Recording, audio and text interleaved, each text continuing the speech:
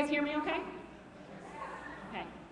So first off, I want to say that I'm from West Madison, and even on that side of town, you guys have a great reputation for being fantastic sports teams and having a ton of school spirit.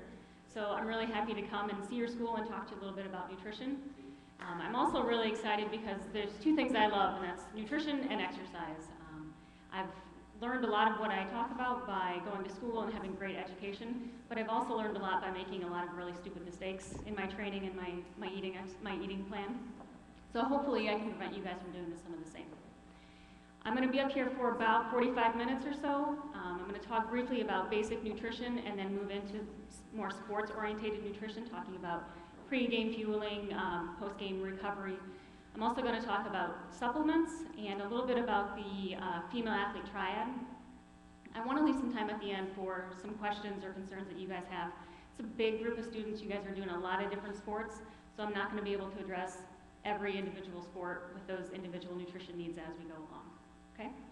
If you guys have questions or comment, comments uh, as I'm speaking, please feel free to politely raise your hand and I'll try to address those as we go along.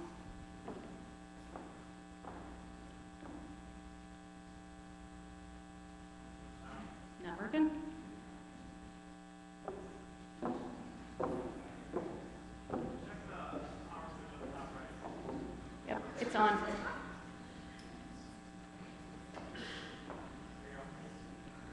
All right. So like I said before, this is my overview um, with questions and open table discussion at the end. So as I was saying, there's a huge range of nutrition needs for different athletes. Um, a teen athlete could use could you need anywhere from like 1,600 calories up to over 3,000. So it's hard for me to say teen athletes need this many grams of carbs and this many grams of protein and this much fat each day. But I'm going to give you some formulas, so hopefully you guys can go home and figure that out. Um, so your nutrition needs are varied right now. The first, uh, one of the most important things is for proper growth and development. We need to make sure that you're getting the right calories and the right amounts. Um, also, along with those calories, we need to make sure you're getting adequate protein, carbohydrates, fats, vitamins, and minerals. Okay? If you're heavy in one area and, and lacking in others, that's going to affect uh, sports performance, academic performance, and growth and development. Activity level plays uh, a big part into nutrition needs. When you guys are not in your sports season, um, how many of you guys are doing regular exercise outside of sports? Okay, maybe a quarter, half? So current recommendations are that kids and teens need at least an hour of activity every single day. Um, most kids aren't getting that. Many of the kids that I see in my clinic aren't doing much of anything at all. To go along with that one hour of exercise is a recommended less than two hours of TV or screen time. Any guesses on the average amount of screen time kids are watching? Five or more, yep. Over the summer, I was seeing kids that were spending 8, 10, 12 hours a day playing video games and, and watching TV. So even when you guys are not in your sport, you should be training and exercising at least an hour a day and limiting your sedentary time to less than two hours a day. So the third part of that caloric goal that nutrition needs is weight management. You've probably seen in the news that uh, childhood and teen obesity is a, a huge epidemic, and so you're kind of hit with these two messages about being active and uh, controlling weight. But we also want to make sure we're not promoting unhealthy body image and weight reduction. So I'm going to talk a little bit about that at the end. I'm going to start first with hydration. How many of you guys have heard at nauseum hydration, hydration, hydration? Okay, we're going to go over it one more time because it's really important. Um, your water weight counts for about 60% of our total body mass. And so even the slightest reduction, the dehydration can affect our sports performance. Um, it can lead to fatigue, um, increased cardiac stress, heat illness. A fluid loss of as little as 2%, so three pounds uh, in a 150 pound athlete, and you're gonna start to see those things happening. How many of you guys have been on the field or in the court, on the court, and maybe felt a little dehydrated, a little low on energy? Okay, any of you guys get to the point where you're not sweating anymore? Feeling nauseated? Good, those are really bad things. So proper hydration needs to happen before, during, and after the event. It's not just a matter of guzzling um, water right after your exercise. How many of you guys are looking at your urine throughout the day? Probably some more than others, right? So the color of your urine is a great way to judge your hydration status. When you go to the bathroom, it should be clear or almost clear. Okay? If it's if it's looking like Mountain Dew or dark lemonade, you're in trouble. You're already dehydrated. And if you're walking into a sporting event or um, an exercise session already dehydrated, you're setting yourself up for really poor performance. So when we're talking about hydration, we need to factor in a couple different things. Uh, one is your body mass. So you should be drinking at least half of your body mass in ounces per day. Okay? The next thing we need to think about is ambient conditions. Uh, it's been pretty nice the last couple weeks, but you know, a few weeks ago when the heat index was 110, you absolutely need more hydration. Um, for those of you that play sports that have uniforms that don't require a lot of breathing, thinking football pads and jerseys and all that, your fluid needs are going to be higher.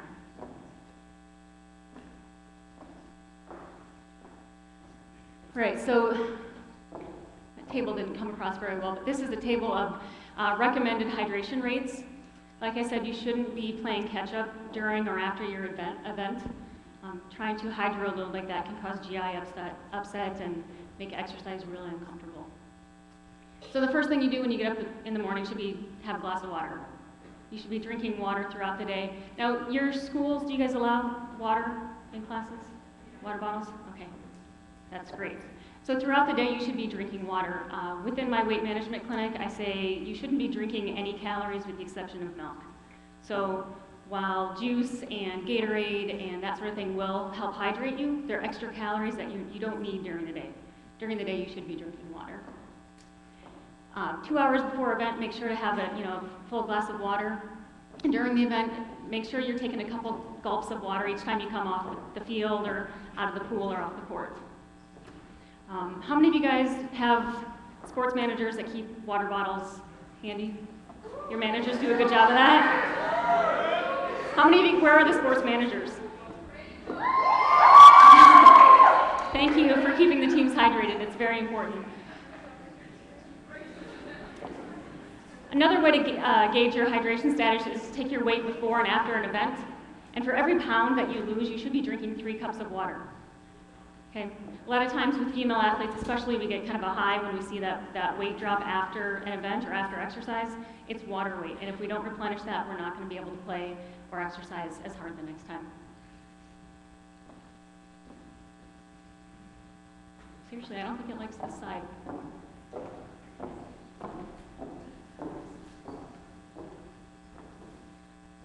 No? There we go.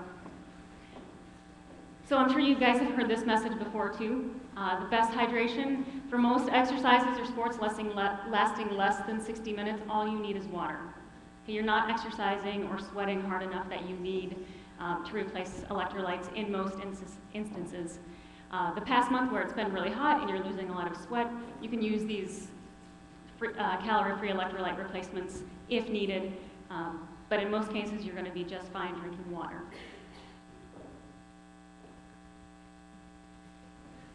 If your exercising or your sporting events last more than 60 minutes and it's continuous exercise, not kind of sitting around waiting for the next event, then you can start looking at um, electrolyte replacement fluids. Um, recommend not drinking anything more than 6 to 8% carbohydrates. If we're taking in carbohydrates that are higher than that, it's absorbed pretty quickly and it can cause gas and bloating and feel pretty miserable um, throughout the, the rest of the sport. So, you know, reaching for juice or certain energy drinks or lemonade, iced tea, those are not appropriate rehydration fluids. Um, if you're looking for something, I say recommend, I say uh, Gatorade, but uh, cut it with water, so 50-50 water and Gatorade. How many of you guys are, how many of your sporting teams use some sort of Gatorade, Powerade, something like that for replacement? Just a few? Most of you guys using water?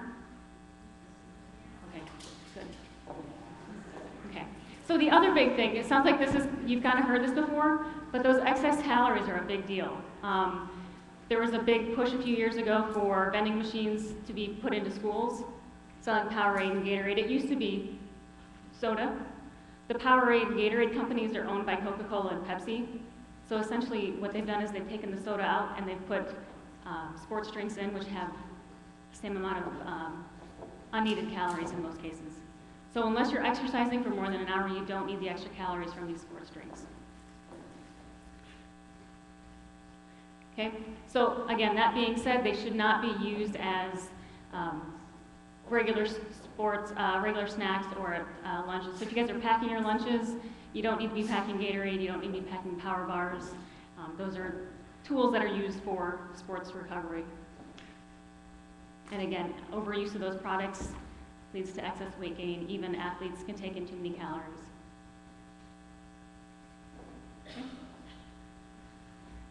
So we talked a little bit about this, how to get the athletes drinking water. Um, keep plenty of bottles and, and um, refills on the court. Also remind your players and your teammates to keep sipping. Um, each time you have a chance, take a couple swigs of water. Um, also, cool water works best. Generally, uh, water that's too cold or too warm can cause GI upset, um, or doesn't taste as well, and athletes are not as prone to, to drinking it. And lastly, set the example.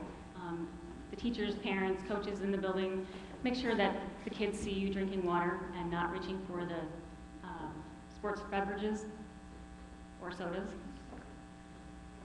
So I'm going to switch gears a little bit and talk specifically about carbohydrate, fat, uh, vitamin, and mineral needs for athletes.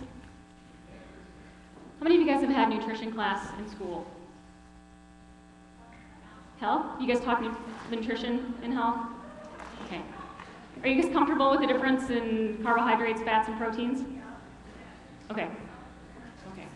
So carbohydrates are your body's preferred uh, fuel source.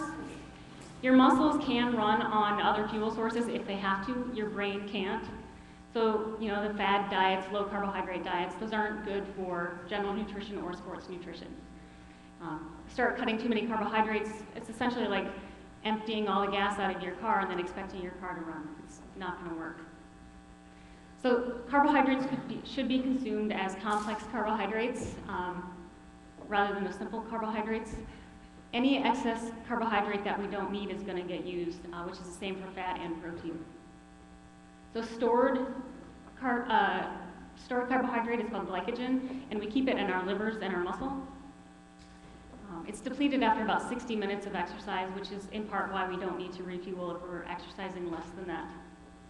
Um, you can train your body to store more, more glycogen uh, through proper athletic training and nutrition, and also through carb loading.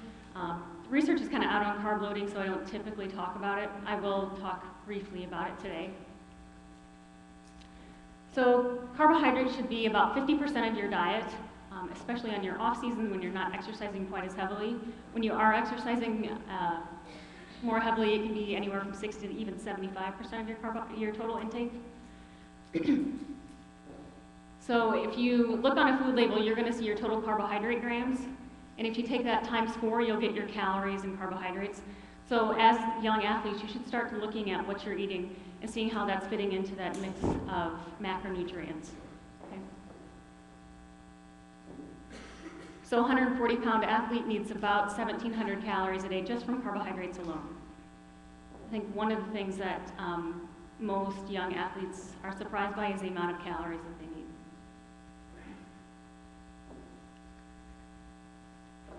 So those complex carbohydrates are going to come from your whole grains.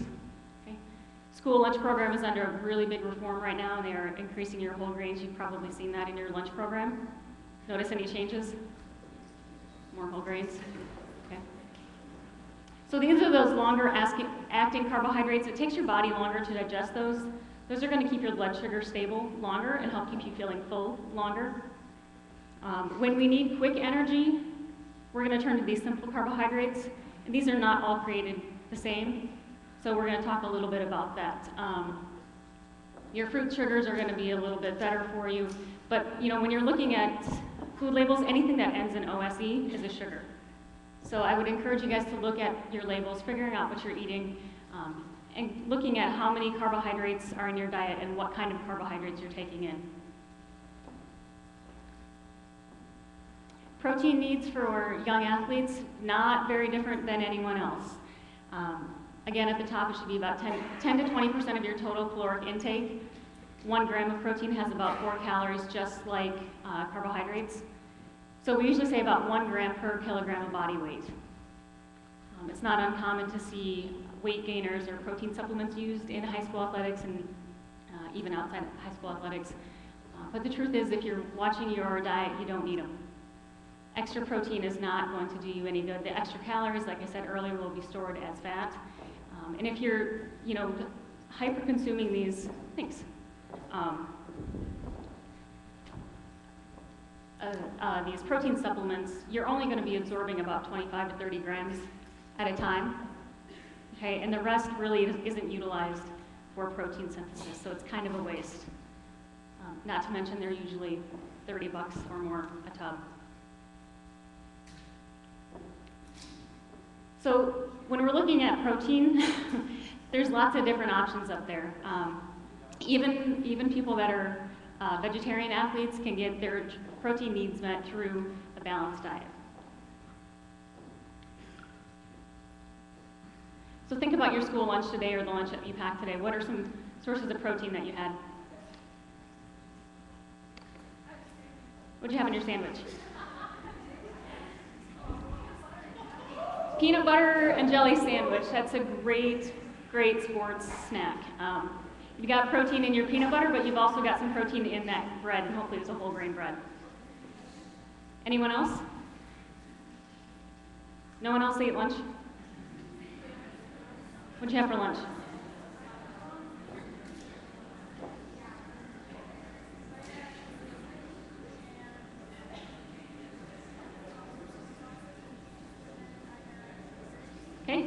Of summer sauces and cheese, great sources of protein. Okay. So take home message from this slide, your protein needs can met, be met through a balanced diet. There's no reason you need to, need to go out and buy these protein supplements. Um, meats, milk, eggs, uh, beans, your whole grains are going to have protein in them as well. Do you have any vegetarian athletes in the room? Do you mind sharing uh, some of your protein sources? I'm sorry? You eat fish? Okay.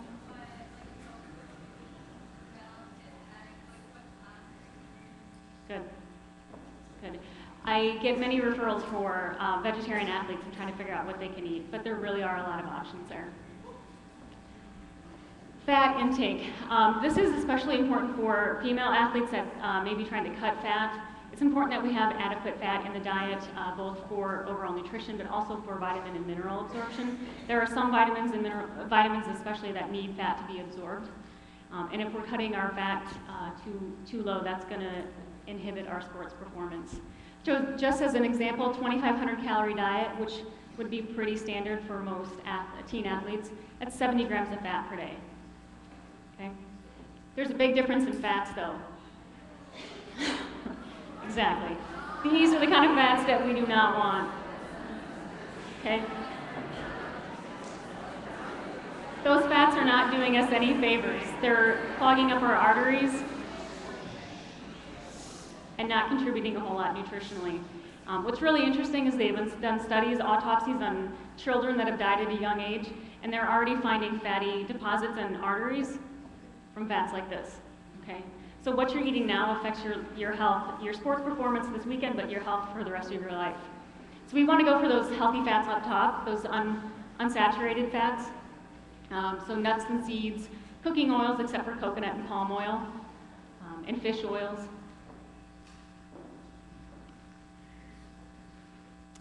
I'm going to switch over and talk a little bit about vitamins and minerals, uh, specifically the ones that many teen athletes uh, lack. So B-complex vitamins, you, how many of you guys have seen the B-complex supplements in energy drinks or packets to add in water or pills? No one seen those? See a couple heads nodding. So B-complex vitamins are important for energy production, but they don't give us energy. We're not getting any additional energy from those B vitamin supplements. They are used to help uh, with the reactions that create energy. B vitamins are really widespread in the diet, so if you're eating a balanced diet, again with adequate carbohydrates, fats, and proteins, good variety, you're going to be getting adequate B vitamins. if you are a strict vegan, you may want to take a B12 supplement. Um, I'd recommend working with a dietitian if you're that strict on your intake. B12 is only found in animal products. Um, There's been some new research on vitamin E and vitamin C, which are antioxidants. So when we're exercising, we're creating free radicals that are causing oxidative damage to our cells. Um, and there's some, been some research about vitamin E and vitamin E supplements uh, to help that free radical damage. The research is spotty at best, so really no supplementation needed. Um, if you're, again, if you're getting adequate fats in your diet, you're going to get adequate E and C. Vitamin A uh, needed for, especially for bone and, and tooth development. So for you guys that are um, crashing into each other on the field or having high impact sports, we need to make sure those bones are as strong as they can be. Your bones are going to keep developing until you're about 20, 25 years old. After that, they're as strong as they're ever going to be. So right now is a really important time to make sure you're getting the, the exercise you need to stress the bones, but also the vitamins and minerals you need to rebuild the bones, um, which is a great lead into vitamin D. Um, vitamin D is pretty well fortified across the diet. So again, if you're taking a in a good variety, you're getting adequate vitamin D. Uh, we also create vitamin D in our skin. So, you know, 15 minutes of sunlight a day helps us create adequate vitamin D. And folate is needed for red blood, uh, blood cell formation. Um, you need red blood cells to transport oxygen. So if you are folate deficient, you can develop anemia. Um, really pretty common problem in female athletes. And um, if you are anemic, you are certainly not going to be able to keep up on the, on the court or on the field. So if you guys um, kind of look at this page alone, you'll see that a lot of these vitamins are coming from fruits and vegetables. And teens are pretty notorious for not getting their fruits and vegetables. So that's one reason why we um, stress them so much. Calcium going on with vitamin D for bone production, uh, sorry, bone growth. How many of you guys drink milk? Does your school have chocolate milk at lunch? Every day? Is it offered every day? Okay. Um, zinc and iron are often forgotten about. Uh, zinc is needed for protein synthesis. So, you know, if you guys are taking lots of protein supplements and trying to bulk up, but you're not getting zinc from your diet, you're not doing your body a whole lot of good. Uh, which is why, as a registered dietitian and an athlete, I always say food first, supplement second. There are many things you're, you're getting from food that you can't get um, in completion from your supplements. And uh, lastly is iron. So we need to make sure we're getting adequate iron again for oxygen trans, uh, transport. Most bioavailable are meat products, but again, if you're not a meat eater, there are ways to get iron, uh, beans, leafy green vegetables, dried fruits. Um, and females are at an increased risk for deficiency, um, partly because it's more common for female athletes to cut these foods out of their diet. Um, it's more common for female athletes to not be eating enough calories, and menstruation uh, plays into this too. Okay, so that's a lot of information, a lot of numbers. If we pull it all together, you guys have probably seen the MyPlate. Have you gotten to that in health class yet? Yeah? This is a great visual uh, for you know, promoting healthy eating and also sports nutrition. Most of what we eat should be fruits and vegetables, about a quarter grain, mainly coming from those complex carbohydrates, and a quarter protein, and then adequate dairy. So we're going to look, look at uh, some pregame uh, fueling and some postgame recovery. How many of you guys have ever eaten or drinking like too close to your game and you just feel like crap, full stomach? Anybody puke because you ate too soon? Too soon to your event? Yeah? I've done that before, not fun. So three to four hours before your event, you should be having about 200 to 300 grams of carbohydrates. Another way to think of it is about 100 grams of carbohydrates for every hour before your event, up to about four hours. Um, it should be moderate in protein and low in fat and fiber. Fat and fiber take long to digest and work its way through the digestive system. So if you're having a high fat, high fiber lunch, and then you're going out to try to practice or play game right after school, your stomach's still going to be working on those nutrients and you're probably not going to feel very comfortable. Okay? So there's an example of a uh, pre-game lunch. Sound like some, does it look like something you guys would eat? Pretty simple food, nothing special, nothing you have to go to GNC for. So pre-game snack, 30 to 60 minutes before the game, you're going to need some quicker energy. So we're going to be looking for that high carbohydrate um, content, moderate protein, and again, low fiber, low fat. Um, peanut butter and a bagel or a slice of toast with some banana. Banana is a great mix of those carbohydrates, fats, and proteins. Um, but also cheese sticks, small piece of fruit, some crackers. Clif bars and those kinds of things are okay. They wouldn't be my first recommendation. Um, try to promote regular foods as close to their natural state as possible, and Clif bars are pretty processed. And be sure to start hydrating. So with your snack, you should be having some water. Okay, this is where it got a little tricky. I wasn't real sure on this. Um, if your game or event lasts more than an hour, you might need to refuel. I would imagine that most of your events and games are not lasting an hour, so you probably don't need these. Um, but for those of you that are exercising for more than an hour, um, that's where you're going to be looking at carbohydrate replacement every 30, 30 minutes or so. The goo packs can be an, can be an option, sports drinks, small pieces of fruit, um, but that hydration is going to be really important too. Is anyone in here doing exercise or events that last for more than an hour continuously? Yeah? Tournaments? Great. Okay. And you guys are exercising for more than an hour at a time?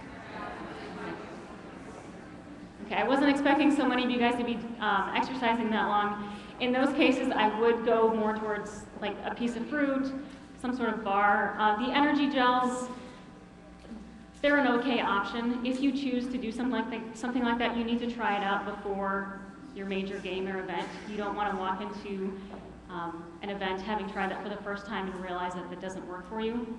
Okay? Some of these products can cause gas and bloating and diarrhea. Okay? So try them out before you use them uh, in a in real life situation. So post-game recovery, it's important to have carbohydrates and protein within 30 to 45 minutes after your event or exercise. We need the carbohydrate and the protein for that uh, protein recovery we need the carbohydrate to initiate the insulin response so that our body can use those nutrients that we're taking in. So, four to one ratio, you guys have probably heard the chocolate milk. Yeah, yep. One of the best post-recovery uh, snacks. It's easy. Um, you guys have it here at school. You can also do uh, Greek yogurt with berries, um, you know, half a sandwich. How many of you guys have tried the Greek yogurt? A few? Great source of protein and calcium. Okay? And then that hydration piece again. Uh, get on the scale, and for every pound that you've lost, make sure you're drinking at least three cups of water. So your post-game meal, generally we say wait a couple hours. If you go uh, try to sit down and have a big meal right after you've exercised really hard, um, you're not going to feel great. You've got all that blood going everywhere else except for your gut, and if you dump a bunch of food into your gut, um, it tends to sit there. So um, this is where you're going to do some of your carbohydrate reloading, making sure you're getting uh, good complex carbohydrates with adequate protein and adequate fat. Really, this is just a healthy meal. Going back to that plate where half of our um, plate is fruits and vegetables, we've got complex carbohydrates and a source of protein. So again, for parents and coaches in the building, this is probably not too far off what dinner meals are looking like.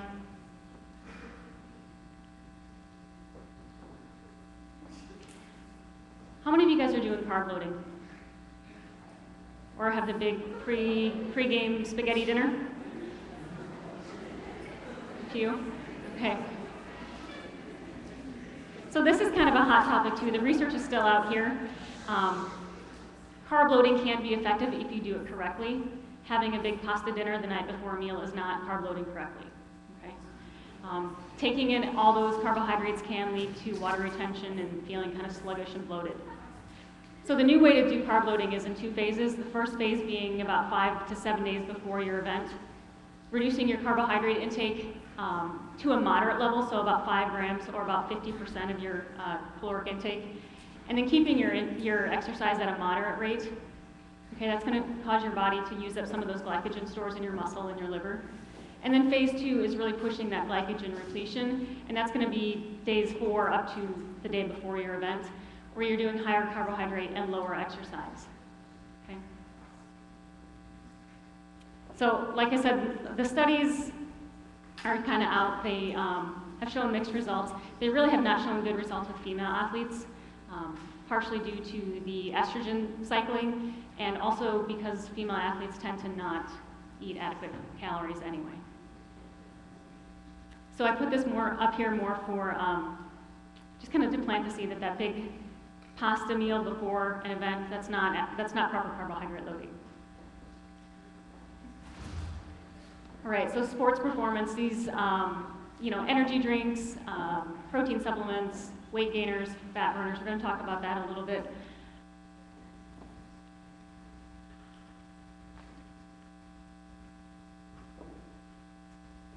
So one of the main things I want you guys to hear tonight is these supplements don't have much regulation. The FDA, uh, the Food and Drug Administration, oversees prescription meds and they also see, oversee the nutrition supplements, but they're under two departments. And the medication part, the prescription meds, have pretty tight regulatory processes. They have to be proven safe and effective before they go to the review board.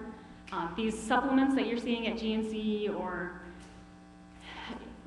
advertised on the radio, there's no oversight there. Uh, the only, the claims that these companies make are made by the companies.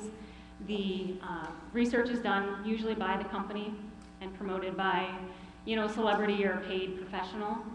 It's not the same sort of um, regulation that you're going to get from medications that you get from your doctor. And as far as I understand it, most of them are banned or highly discouraged in um, high school and collegiate sports. So fat burners and uh, energy drinks, these make me especially nervous. Anything that's going to raise the heart rate on top of already exercising, being hot, potentially being de dehydrated, you have the potential to cause liver, kidney, and heart damage. Uh, also dehydration, malnutrition. You know, if you're, if you're relying on these energy drinks to get your energy, you're not taking in carbohydrates um, and vitamins and minerals, you're not getting the right kind of energy. So again, it looks like the table didn't transfer, but it's a chart um, showing a B12 supplement packet, which you can get at GNC or uh, the vitamin shop. This is a bowl of Cheerios and half, uh, so one cup of Cheerios and half a cup of milk. And you can see that the, the B vitamin breakdown, the amino, I'm sorry, the amino acid breakdown is pretty similar, and you've got 50 cents a, serving versus $100, uh, $1.50 a serving. Also keep in mind when you're eating this bowl of cereal and your milk, you're getting calcium, fiber, carbohydrates, other vitamins and minerals that you're not getting in your supplement pack. So weight gainers, creatine, these kind of mass builders, um, really big, big amongst um, male athletes especially. Um, really expensive. I was doing a um, market survey before I came and I couldn't find anything that was under 40 bucks. You need to remember that adding mass is not the same as adding muscle mass. You can be taking in these extra calories with weight gainers, protein, and if you're not using them, the body's going to store them, them as fat for you. And you guys know if you're on the field or court and you're trying to move around extra fat, that's a lot harder to do than move around extra muscle.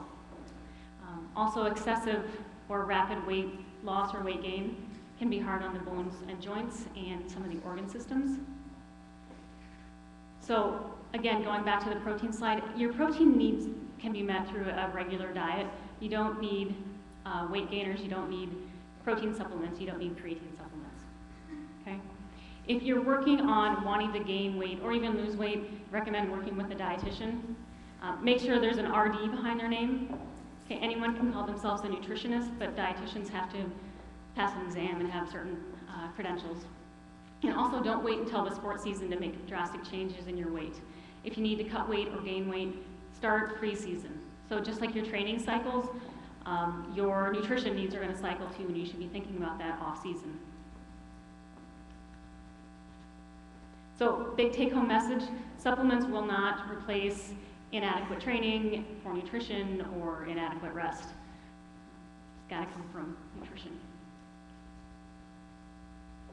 So switching gears a little bit, talk about just to, to the female athletes. How many of you guys have heard of the female athlete triad? Just a few, huh? Okay. So along the continuum of normal eating over here and disordered eating, the female athlete triad falls kind of in the middle there.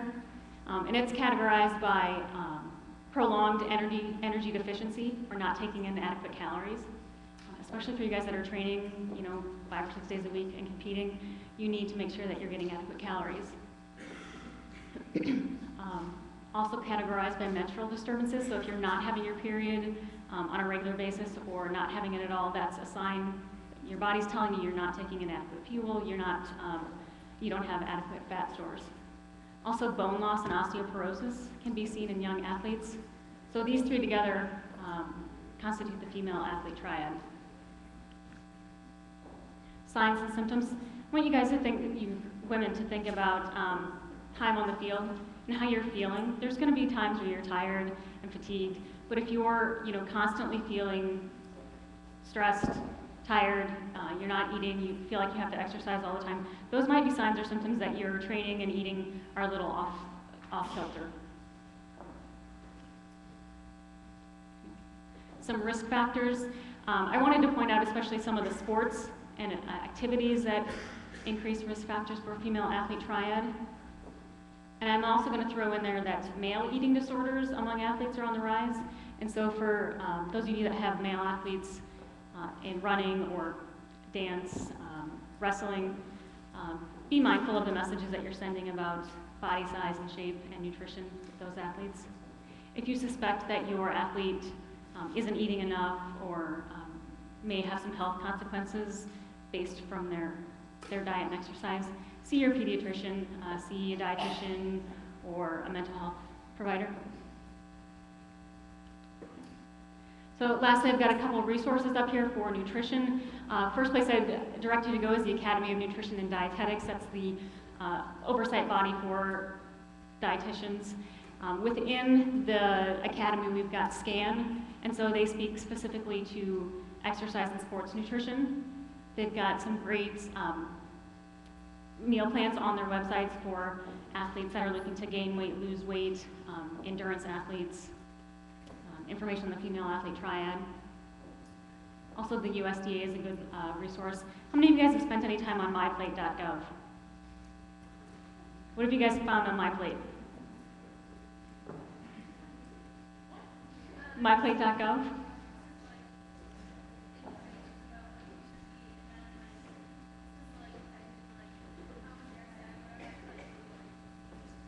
Yeah. It's, I'm, I'm glad you looked at that. On myplate.gov, you can actually type in your age, weight, exercise level, and it's going to give you a calorie level. So you can start looking at what percentage of your calories are coming, like we were talking about, from fat, carbohydrates, and proteins.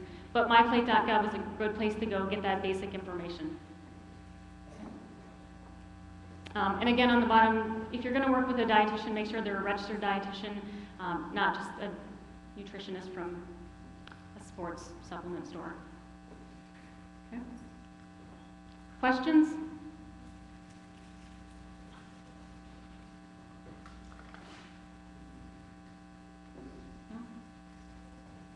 Yeah.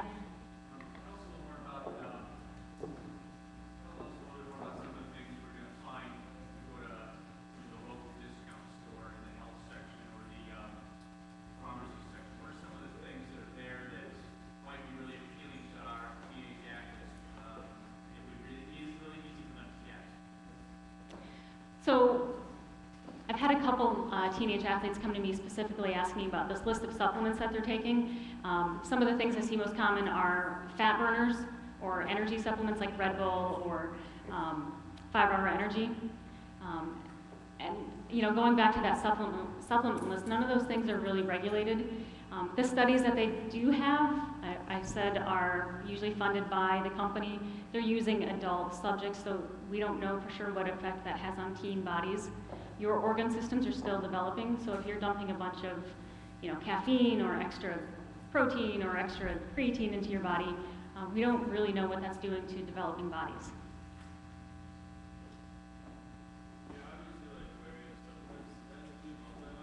Um, say that again? I say food first, supplement second. Um, I think that if you really pay attention to what you're eating, you can get your needs met without supplements.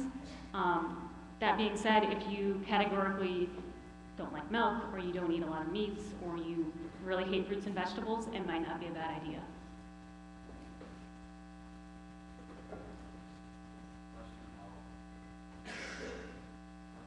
Question. Question.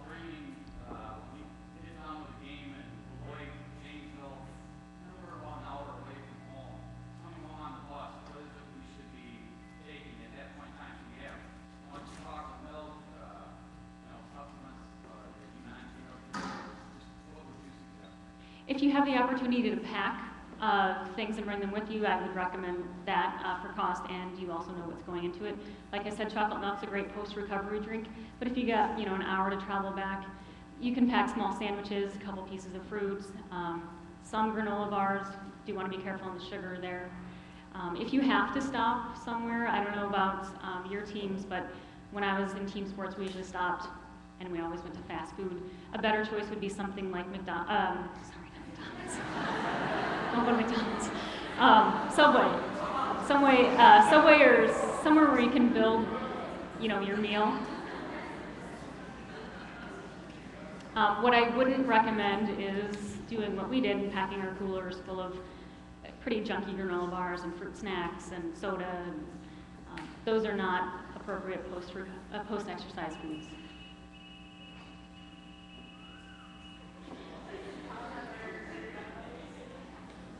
Amanda, can you tell us a little bit more about the, um, about the caffeine supplements? You know, there's, there's a product like Red Bull, and Mhm. AMP, and uh, the Five Hour Energy, and there is occasion I'm walking through the locker room and I see some empty bottles of those things laying around.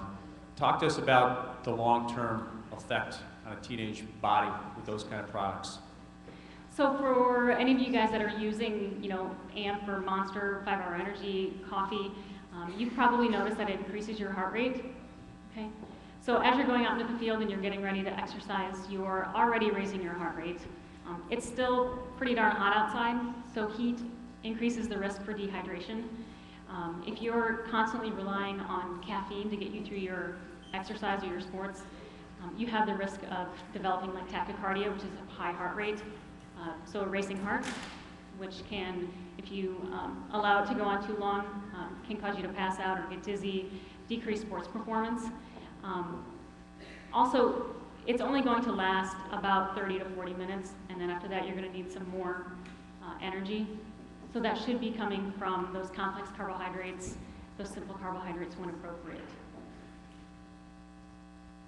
Um, it should also be noticed that, noted that caffeine decreases calcium absorption. So if you're sucking down caffeine every day, you're not absorbing calcium like you should be, uh, which increases your risk for bone breaks. I think there's a question in the third row here. Did you have? I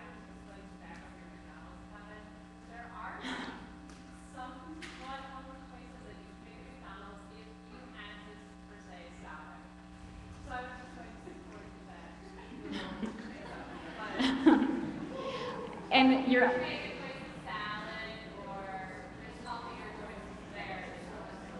You're absolutely right. Um, I shouldn't be so categorically negative on fast food. If you go in there and you have the willpower to read the menus and really think about the best choices in there, you can make healthy choices there. Um, but you have to make an effort to do that. So thank you for bringing that up. Any other questions?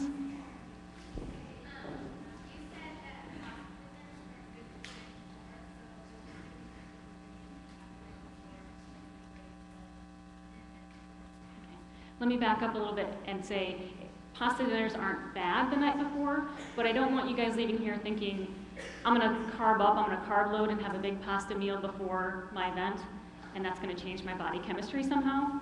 Um, a pasta dinner the night before a race is a, a decent uh, option. Um, limit your portions to about a cup, cup and a half, and then make sure you've got some protein, so some lean ground beef or some turkey mixed in there, and also some, some vegetables. Are you a runner? Yeah, so carbohydrates would be a good, good choice for you. Okay. Other questions? Amanda, can you talk, can you talk a little bit about the recent concerns on steroid use in males and females? I'm sorry about steroid use. Yes, in males and females. Um, sure, I've actually I've seen less of it um, in my practice, but um, have you guys had education on steroid use? Right, so you guys know side effects. Yeah, acne, uh, rages, changes in emotional behavior, right?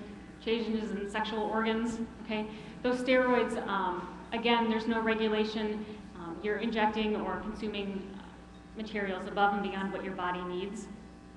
Um, and generally, when you stop taking them, if you're not training and eating right, muscle mass is going to um, to diminish anyway. So there's absolutely no reason you need to be taking um, supplements, uh, steroids of any kind. Um, I was reading recently a, an investigative study that showed that a lot of the weight gainers have steroid or steroid-like components in them.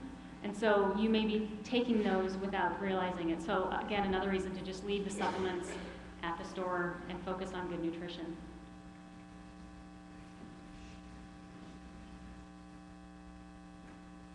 Anything else?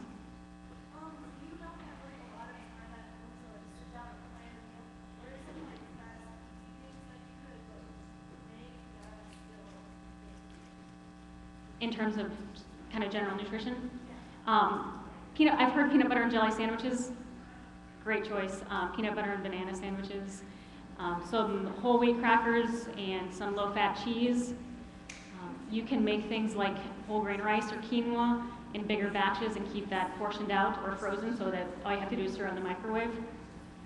Um, cereal and milk is a great combination of carbohydrates and protein. Does that give you some ideas?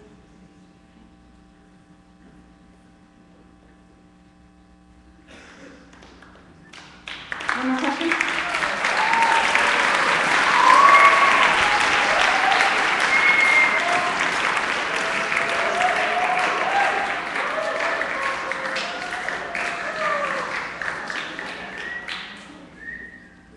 Just had one last question. We had a uh, speaker come last year that spoke that uh, trained Navy SEALs and trained. He said after hard workout, you should have anywhere from three to six ounces of soda. uh, The sugar intake, how it will build muscle. And you said stay away from that. So Mhm. what are your thoughts on that? Um, I have seen it used, especially like in Iron, Ironman events, great example this past weekend. Soda is, it's a great source of quick carbohydrates, but it's not the right kind of carbohydrates that a teen athlete needs. Um, I wouldn't recommend it for an adult athlete either. There are better choices.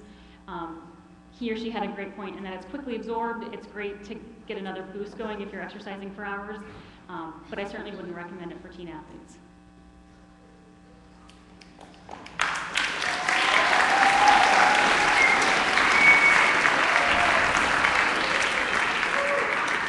I just need you for two more minutes, so sit down.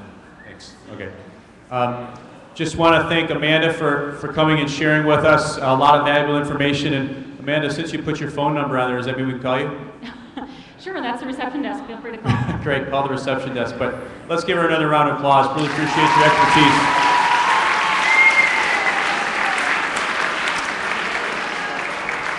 There's a couple of pieces I want to share with you. Um, we are, we are a member of the Wisconsin Interscholastic Athletic Association, the WIA. We are all members. Our school's a member. And what that means is the website that they have available is a website that's, accept, that's uh, accessible to all of us here. My recommendation is that all of you students, coaches, parents, please spend some time looking at that website. There are some wonderful resources. Uh, Sarah had uh, mentioned it as well. But there's two things I want to point out to you. You may not realize this, but our state association does have a list of banned substances. Uh, there's a brochure you can get off their website. I have a few copies left over by Coach Swanson in the back, but there's some things that are banned to not be in your bodies at all, member schools, and there are substances that are discouraged. And the most important part is, as a member school, we do not endorse any products. Goo, Gatorade, Coke Black, any of that stuff. Um, I, I want to share a couple of things with you here. This is on the discouraged list. Schools may not provide in any shape or form things like creatine, NoDoz, protein powders, any caffeine supplements, things like energy drinks like Red Bull, AMP, Advanced, uh, if Coke Black is even made anymore, that type of product. So as a school, we're never going to endorse that stuff. So when, when uh, Amanda had asked if uh, you guys use some products or that thing, I was glad to see that uh, there weren't a lot of people raising their hands because we don't want to endorse those things. There's things we can do by making better choices about what we eat. Um, I have copies of this too if you'd like to get, uh, to get that information as well. Um, we train hard, we work hard as a team, we put a good uh, experience on the field for our kids. We got to make sure we take care of things nutritionally wise to help us be at our best. So that's what this part is about. And before we, we get you out of here, just got a couple announcements. So um, there's a Cardinal parent meeting going on in the media center, and Coach Rob Hamilton is the guest speaker tonight. Um, you might be able to catch him if, if uh, he's still in there. I also want to draw your attention to one more thing, parents, athletes, coaches. Tuesday, October 16th, right here at 6:30, we have a gentleman named Jack Rankus coming, and his, his conversation with us is going to be about college recruiting realities. Whether you think you want to play college ball, or you're just thinking, gee, there might not be a place for me, but maybe there is, he's not a recruiter, he doesn't work for a college, he's not going to guarantee anything, but what he wants to do is come to educate you, whether you're in seventh, eighth grade, whether you're a senior. He wants to educate you. What is this college recruiting game all about? And if you really want to play ball at the next level, there may be a school for you, and here's some ways you can navigate the process. The percentage of us in this room that are going to be a Badger is very small. It's probably just one seat at best. But those of us that want to go on and play at the next level somewhere, Division two, Division three, junior college, NI, uh, uh, schools, there are opportunities for you. And so that's what his talk's going to be about. So it's, it's well worth your time. Um, we'll be setting a Blackboard Connect on that.